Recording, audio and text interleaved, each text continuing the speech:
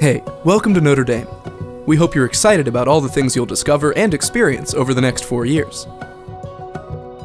Now, before you move in, we'd like to take a minute to tell you a little about our halls.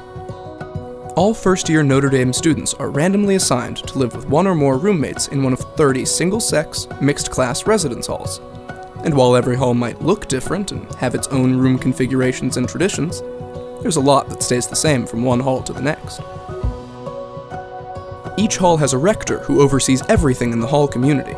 These are people who choose to live with college students and keep all those crazy hours because they love it. He or she is there for you and has two assistant rectors who help cover residents' needs 24 7. Down the hall from your room is your RA's room. It stands for Resident Assistant and is a senior. RAs are nearby in case you need anything and can answer lots of questions and give you advice from a student's perspective. And now onto your room. Every student has a bed, and they're all extra long twin size, so be sure to bring the right size bedding. You'll also have your own desk with a chair and either a wardrobe dresser combo or a built in closet. You'll have a recycling bin and window coverings too. Bathrooms and showers are close by on each floor. Your hall will also have a laundry room with washers, dryers, and an iron and ironing board. You might want to practice that before you get here.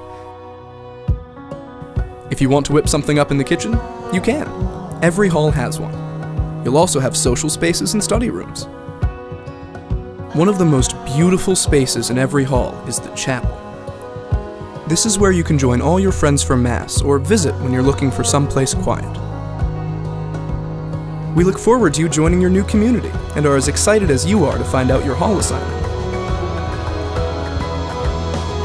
We're so glad you're here and can't wait to welcome you to your new home.